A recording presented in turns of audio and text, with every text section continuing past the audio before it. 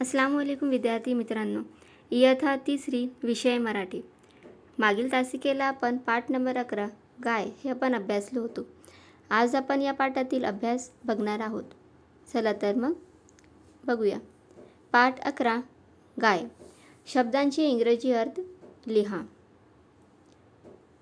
पहिले शब्दांचे इंग्रजी अर्थ आहे गाय. वाचा. गाय काव गाय म्हणजे काव नंबर दोन गवत ग्रास गवत ग्रास। नंबर तीन, भांडे पॉट भांडे पॉट। नंबर चार, आरोग्य म्हणजे हेल्थ, आरोग्य हेल्थ। नंबर पाच, खाते ईट खाते ईट। नंबर सहा, दूध मिल्क दूध मिल्क। एकदा पुन्हा वाचूया. गाय, काऊ, गवत ग्रास भांडे पॉट आरोग्य हेल्थ खाते ईट दूध मिल्क. आता नंबर सात देते. देते म्हणजे टू गिव नंबर आठ येते. येते मीन्स कम्स नंबर नऊ घेते.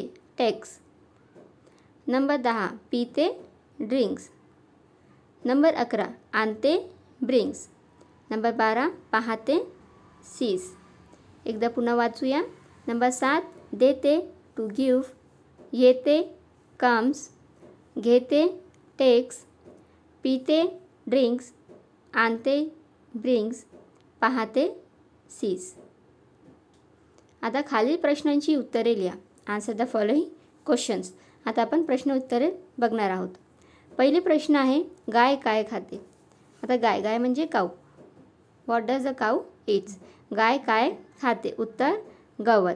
काय येणार आहे उत्तर? गवत. नंबर दोन. गाय आपल्याला काय देते? आता गाय आपल्याला काय देते? दूध देते. काऊ गिव्ज अस मिल्क उत्तर दूध. एकदा पुन्हा वाचूया. गाय काय खाते? उत्तर गवत. नंबर दोन. गाय आपल्याला काय देते? उत्तर दूध. आता प्रश्न तिसरा. गाईला गवत कोणी दिले? आता गाईला गवत कोणी दिले होते? सुमितने. सो उत्तर काय आला? सुमितने. नंबर चार मुलांना दूध कोणी दिले? मुलांना दूध कोणी दिले होते? आईंनी.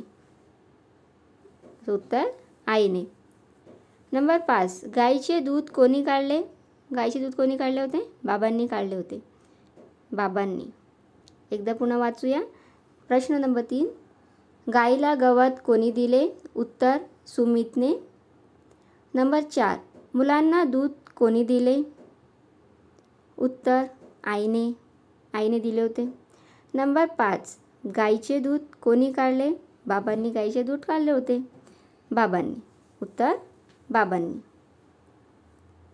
आता जोड्या जुळवा मॅच द फॉलोइंग पहा इथे अ गट आणि ब गट. Means A pair and B pair. दोन गट दिलेले आहेत. अ गट आणि ब गट.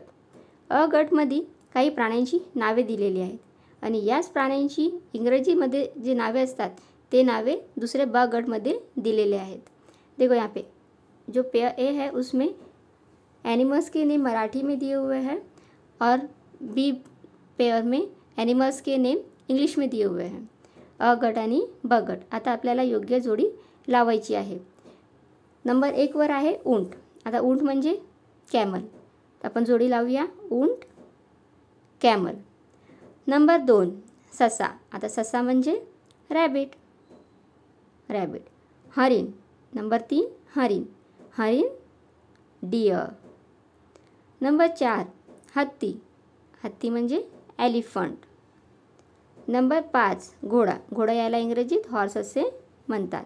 हॉर्स आता आपण वाचूया. नंबर एक उंट कॅमल. उंट कॅमल. नंबर दोन, ससा रॅबिट. ससा रॅबिट.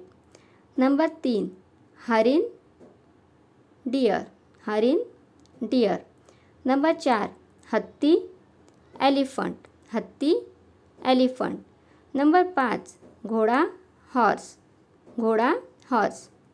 आजचा गृहपाठ तुम्हाला हे अभ्यास तुमच्या वहीत लिहायचा आहे आणि वाचायचं आहे पाठांतर पण करायचं आहे. Today's homework you have to learn and write this exercise in your notebook Allah Hafiz.